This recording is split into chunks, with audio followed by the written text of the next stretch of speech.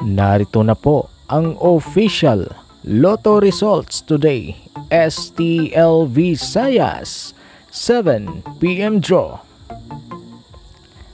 Sa ating mga kaloto, good luck po sa inyong lahat. Para po sa STL Visayas players, magandang magandang gabi po sa inyo at good luck.